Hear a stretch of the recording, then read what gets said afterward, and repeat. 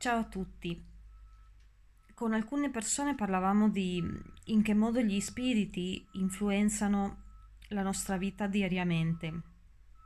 Se ci sono gli spiriti, eh, in quanto tutti siamo spiriti, solo che la differenza è che alcuni spiriti come noi siamo incarnati ed altri sono disincarnati, ovvero hanno perso il loro involucro di carne, in che modo questa interazione eh, fra gli spiriti incarnati e disincarnati avviene? Ebbene, eh, per rispondere a questo, sulla base di tutto quello che mm, in questi ultimi cento anni è stato un po' scritto e che sappiamo, ehm, dobbiamo dire principalmente una cosa. Ehm, nello stesso identico modo nel quale ehm, ci si influenza fra persone in carne ed ossa. Identico, non cambia niente. Una frase che per me è molto ehm, calza pennello, come si dice in questi casi, è eh, dimmi con chi vai e ti dirò chi sei. Eh, siccome la comunicazione sia fra persone in carne ed ossa che fra persone e spiriti, che fra spiriti e spiriti, eh, poi si vede, eh, bueno, si sa anche questo, ehm, da molte canalizzazioni di medium importanti, ecco, e da tutti questi anni di studio dello spiritismo, che è una vera e propria dottrina, no? Ehm, bene, questa comunicazione avviene a livello non verbale. E come avviene questa comunicazione? A, li- a livello di ehm, vibrazione.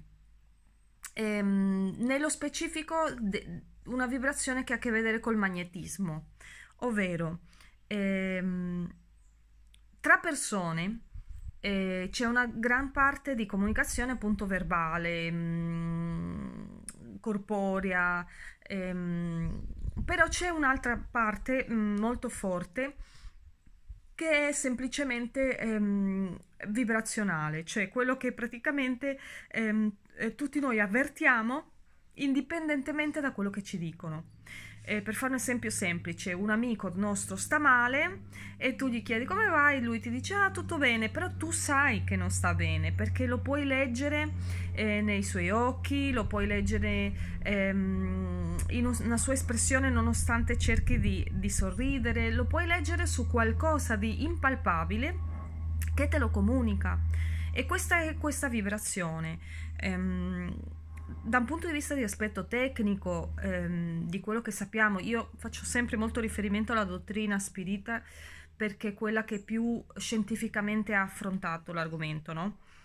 Da un punto di vista di, tecnico, praticamente eh, il corpo eh, nostro è come diviso in tre parti, no? Eh, una parte è l'involucro, che è il nostro corpo fisico, quello che noi ci tocchiamo, una parte è ehm, il perispirito, che eh, sarebbe una specie di ehm, involucro di energia, mm? immaginate uguale al nostro involucro in carne ma fatto di energia e quindi con una plasticità molto più grande perché si può espandere noi e ha la possibilità appunto di, ehm, di portare informazioni eh, di vibrazione e poi quella che si chiama alcuni chiamano spirito o altri chiamano anima, che sarebbe praticamente l'essenza della scintilla divina, cioè la nostra anima che eh, è quella poi che si rincarna, è quella poi che, mm, eh, che fa tutta l'evoluzione, quella che si considera immortale, no?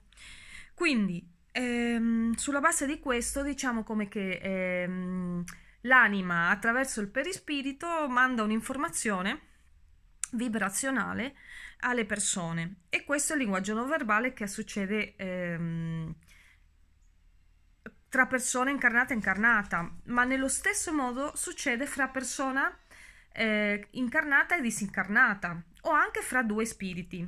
Mm? Comunque parliamo in questo caso di un, un, una vibrazione di comunicazione fra una persona incarnata, in carne ed ossa, viva sul piano terreno, una persona viva sul piano spirituale, quindi disincarnata. Ehm, questa comunicazione attraverso i due perispiriti, cioè questi involucri non di carne, non più di carne, ma questi involucri di energia, di fluido vitale, di fluido magnetico che emanano una vibrazione. E allora come succede questa comunicazione? E basicamente, come dicevamo prima nel proverbio, dimmi con chi vai e ti dirò chi sei. Se noi ehm, decidiamo nella nostra vita di ehm, fare una vita, come dire, totalmente ehm, all'avventura e non lo so, ci riuniamo tutte le sere, beh, adesso non fate conto in un momento in cui si poteva, ehm, tutte le sere con persone beviamo e sono tutti mm, che non gliene importa niente di, di- del futuro, vivere la giornata e tutto bevo, fumo, faccio di tutto di più e, e decido di vivere una vita così, un po' ehm, alla perdizione, diciamo. Ehm, le vibrazioni che vado a emanare sono quelle eh, di si considerano di bassa vibrazione perché si considera che uno stile di vita così porta a eh, non ehm, elevarsi, no? Per tutta una serie di motivi e non voglio mettere in campo un motivo morale, ma proprio un motivo di evoluzione de- dell'anima che è più profondo, no? Come dire, se tu ehm, ti butti totalmente al piacere fisico, diciamo che dando tutta l'importanza al piacere fisico di un corpo fisico è difficile che vai a, a, a elaborare o a approfondizzare ehm, la spiritualità, no? Non hai neanche il tempo né la lucidità per farlo, quindi ovviamente eh, la tua vibrazione sarà quella. Lo spirito disincarnato che gira eh, magari ancora su questo piano astrale o in un piano astrale basso e eh, sente quella vibrazione, eh, si avvicina perché la riconosce e come tale eh, quello spirito entra in comunicazione con quella vibrazione e è lì che si creano questi casi di presenze che rimangono sempre intorno a noi, che ci mettono anche la loro ehm, vibrazione aggiunta alla nostra. Quindi se uno tende a essere un po', ehm, non lo so, a essere una persona che beve tanto, magari lo spirito di uno che ha bevuto tanto ti fa bere ancora di più. Una persona che si intristisce o tende alla depressione, lo spirito di una persona depressa ti fa sentire ancora più depressione, perché in qualche modo quella vibrazione sua influisce ed influisce sul tuo pensiero. Quindi pensieri che tu credi essere tua, tuoi, invece sono dei spiriti che si allineano a quella vibrazione.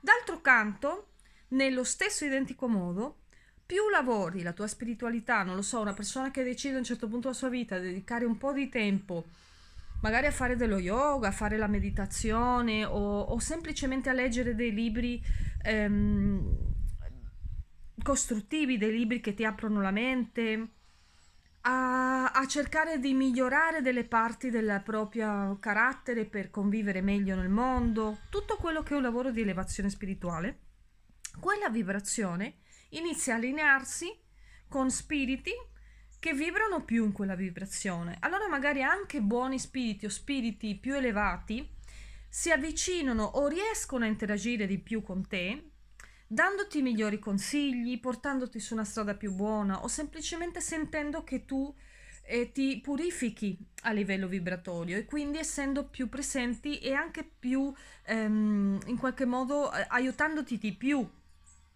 perché fondamentalmente come nella vita da incarnati in base alle scelte che fai, le persone che scegli di frequentare, ehm, cambia molto le possibilità, la rossa di possibilità che ti si apre. È inutile dirlo, l'esperienza di tutti noi sa che è così.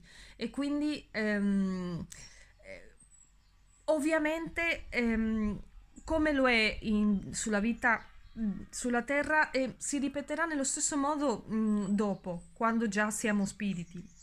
E per quelli che sono già spiriti, siccome sono sempre in uh, dialogo con noi, eh, perché il dialogo esiste, eh, anche se è inconscio, anche se non ce ne rendiamo conto, eh, si, succederà nello stesso modo. Quindi, se per esempio, per mh, mm, concludere mh, mm, il concetto, no? Eh, noi entriamo in un posto dove c'è molta negatività perché le persone sono perse, c'è depressione, c'è rabbia, c'è perdizione, c'è disordine, sporcizia. Eh, immaginate un posto, non lo so, la classica fabbrica abbandonata con, pers- con molte persone con problemi di droga abbandonati lì.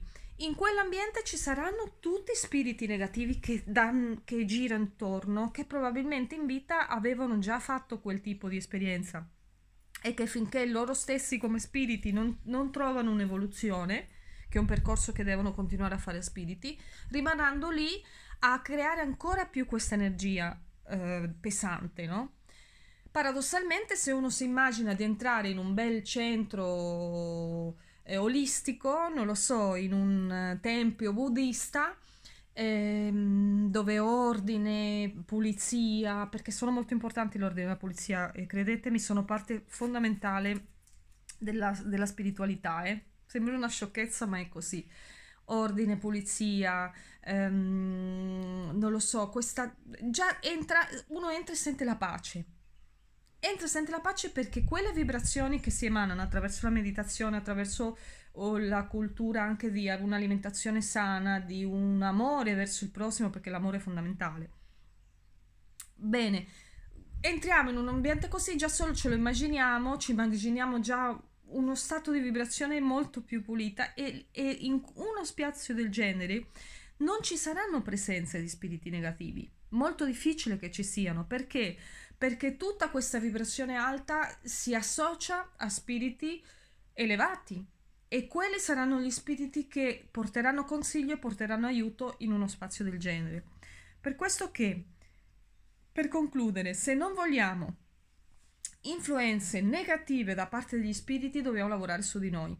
Più lavoriamo sul nostro benessere, sulla coscienza, sull'elevazione morale, sull'amore, e, e, cercando di togliersi tutte le cose che sappiamo benissimo, perché tutti noi le sappiamo, ci portano a, a cadere ehm, in uno stato di, di, di, di sofferenza, più ci eleviamo. Questo per quanto riguarda ogni situazione di vita. Eh, una situazione di vita difficile, di persone con malattie croniche, eh, con tante difficoltà e tutto, dove regna l'amore nella famiglia, regna una vibrazione alta e regna aiuto e regna positività. Allo stesso modo situazioni difficili dove regna la rabbia, la colpa e, e ci si offende tutto il giorno, magari non so, i genitori che si offendono con i figli e, e conflitto costante, regna appunto questa mh, disgregazione e quindi è lì dove entrano tutte le spiritualità negative e si associano in qualche modo aumentando questi pensieri eh, terribili, no?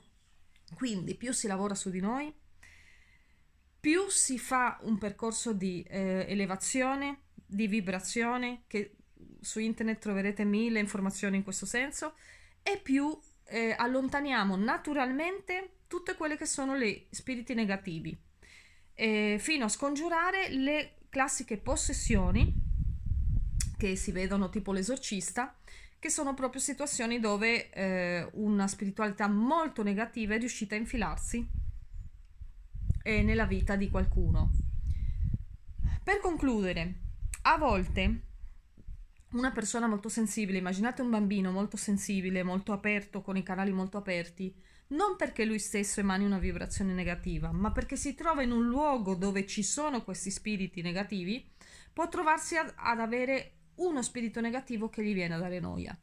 E, e, e, e gli si, come dire, gli si associa e, lo ossessa semplicemente perché per la sua sensibilità, capito? Per la sua capacità di recepire. Quindi ehm, anche i posti che uno frequenta sono in qualche modo, eh, come dire, nella casa abbandonata dove sappiamo che hanno ucciso cinque persone brutalmente, non entriamo, ecco, mh, mm, piuttosto evitiamo di farlo. Questo anche è una cosa importante da sapere.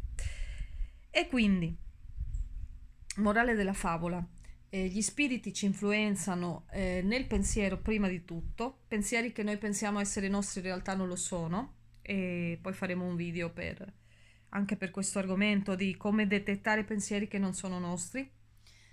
E, e ci influenzano eh, aumentando i lati negativi o positivi della nostra vita e del nostro carattere a seconda di quali spiriti abbiamo intorno. Considerate che ognuno di noi, ognuno di noi ha delle guide spirituali che ci aiutano.